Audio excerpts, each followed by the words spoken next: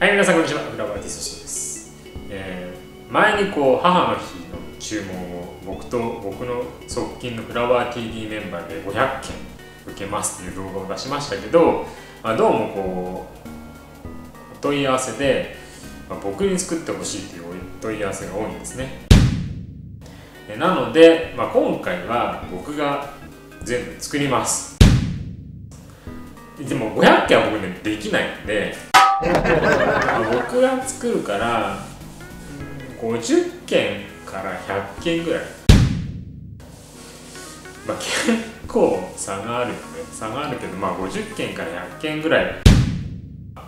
これからね今までメールくださった方もいらっしゃるのでそれを踏まえて、えー、またここでここにメールをください。そしたらここにメールくださったこれからの方は僕が全部作ります、えー、そしてこの僕がこう返信メールをしますので返信メールが来た方は当たったと。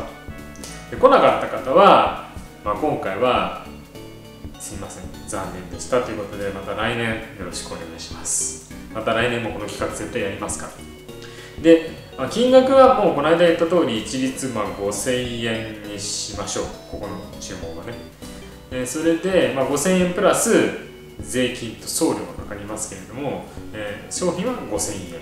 それから、まあ、アレンジは5000円で送料と税金別途かかるような感じになります、えデザインはまあ僕に任せてください。かっこいいのを作ります、えー、なのでぜひここにこちらのアドレスにメールをください。僕から返信メールが来たらそこで詳細を聞きます。では。